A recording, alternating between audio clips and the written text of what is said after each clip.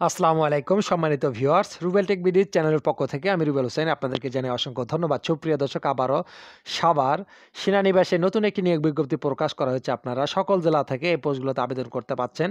আজকের ভিডিওটি অতি গুরুত্বপূর্ণ একটি ভিডিও, সম্পূর্ণ দেখার অনুরোধ রইল। আপনারা ন্যূনতম অষ্টম শ্রেণি পাশগুলো আবেদন করতে পাচ্ছেন। এসএসসি, এইচএসসি পাশ করা থাকলে আবেদন করা যাবে এই পোস্টগুলোতে। এটি ডাকযুগে করতে হবে না, অনলাইনে করতে হবে? আবেদন করতে কত টাকা প্রয়োজন পড়বে? আরও কী কী কাগজপাতি প্রয়োজন পড়বে আবেদন করতে? সেসব বিষয় নিয়ে আলোচনা থাকবে এই ভিডিওতে। আপনাদের কাছে একটি অনুরোধ, আপনি যদি আগে থেকে এই চ্যানেলটি সাবস্ক্রাইব করে রাখেন, আপনাদেরকে জানাই অসংখ্য ধন্যবাদ। আর যারা এখনও চ্যানেলটি সাবস্ক্রাইব করেননি, অবশ্যই চ্যানেলটি সাবস্ক্রাইব করে পাশে থাকা বেল বাটনটি অল করে দেবেন। পরবর্তী নতুন কোনো ভিডিও আপলোড করলে নোটিফিকেশন যাতে পৌঁছে যায়।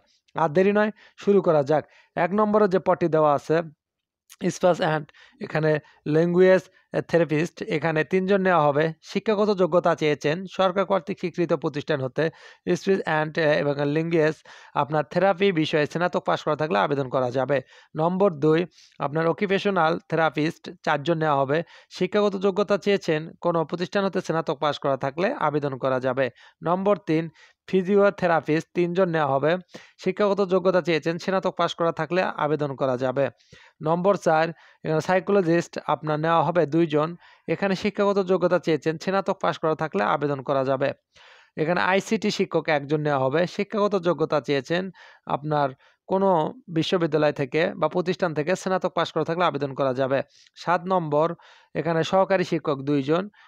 শিক্ষাগত যোগ্যতা চেয়েছেন, স্নাতক পাস সাত নম্বর এখানে অফিস সহকারী, এখানে একজন নেওয়া হবে। এখানে ইংরেজি, বাংলা টাইপের ক্ষেত্রে ত্রিশ এবং বিশ এবং তিরিশ শব্দের গতি থাকতে হবে কম্পিউটার বিষয়ে অভিজ্ঞতা থাকতে হবে। এখানে এইচএসসি পাস করা থাকলে আবেদন করা যাবে। আট নম্বর, শিক্ষা সহকারী পাঁচজন ন্যূনতম এসএসসি কমপ্লিট থাকলে আবেদন করা যাবে। অভিজ্ঞতা প্রার্থীদের অগ্রাধিকার বেশি দেওয়া হবে এই পদটিতে। নয় নম্বর ড্রাইভার একজন নেওয়া হবে। শিক্ষাগত যোগ্যতা চেয়েছেন ন্যূনতম অষ্টম শ্রেণি পাশ করা থাকলে আবেদন করা যাবে। বাস হেল্পার একজন ন্যূনতম এসএসসি অষ্টম শ্রেণি পাশ করা থাকলে আবেদন করা যাবে। এখানে জেএসসি অর্থাৎ পঞ্চম শ্রেণি পাশ করা থাকলেও আবেদন করতে পাচ্ছেন এগারো নম্বর পরিচ্ছন্নতা কর্মী অষ্টম শ্রেণি পাশ করা থাকলে পোস্টটিতে আবেদন করতে পাচ্ছেন শর্তাবলীতে বলা হয়েছে অর্ধক্ষ প্রায় সাবার এরিয়া সাবার সেনানিবাস ঢাকা তেরো চৌয়াল্লিশ এর বরাবর এগারো ডিসেম্বর বিশ বাইশ তারিখের মধ্যে সহস্তে লেখা। দরখাস্ত আপনার আহ্বান করা যাচ্ছে। হাতে লিখে দরখাস্তটা পাঠাতে হবে।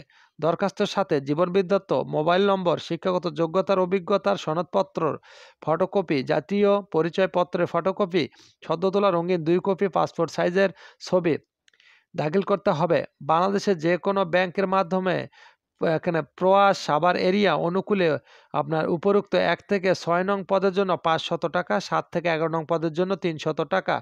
এখানে ব্যাংক ড্রাফট, পে অর্ডার, অফরোধযোগ্য করতে হবে। আবেদন, আবেদনপত্রের সাথে সংযুক্ত করতে হবে। চূড়ান্তভাবে নির্বাচিত ব্যক্তিবর্গের ক্ষেত্রে অত্র প্রতিষ্ঠানে চাকুরিধি মোতাবেক সকল শর্তাবলী প্রযোজ্য হবে। সরাসরি নিয়োগের ক্ষেত্রে সরকার কর্তৃক ঘোষিত বয়সীমা প্রযোজ্য হবে। সেনা এখানে সদস্যের জন্য শর্তসমূহ শীতলযোগ্য। লিখিত মৌখিক পরীক্ষা সময়সূচি পরিবর্তন মোবাইল ফোনের মাধ্যমে জানানো হবে। পরবর্তীতে টিএডিএ প্রদান করা হবে না। আপনার গাড়ি চালকের ক্ষেত্রে মূল ড্রাইভিং লাইসেন্স সঙ্গে আনতে হবে। এখানে অসম্পন্ন আবেদনপত্র বাতিল বলে গণ্য করা হবে। তা দর্শক, এখানে প্রয়াসাবার এরিয়া, প্রমাণিত নীতিমালা অনুযায়ী নিয়োগ কর্মে সম্পূর্ণ হবে। প্রতিষ্ঠানের বিশেষ চাহিদা অসম্পূর্ণ। সম্পূর্ণ শিশুদের প্রয়োজনীয় অনুযায়ী সকল কর্মরত বা কর্মকর্তা কর্মচারীগণের প্রত্যাহিক এবং কর্তব্য এখানে কর্তব্যর সময় নির্ধারিত হয়। পদের সংখ্যা পরিবর্তনের ক্ষেত্রে কর্তৃপক্ষ ক্ষমতা সংরক্ষণ করবে। অবশ্যই ভিডিওটি শেয়ার করে অন্যদেরকে দেখার সুযোগ করে দেবেন। আবারও দেখা হচ্ছে নতুন কোনো জব সার্কুলার নিয়ে। ভালো থাকবেন, সুস্থ থাকবেন। আল্লাহ হাফেজ।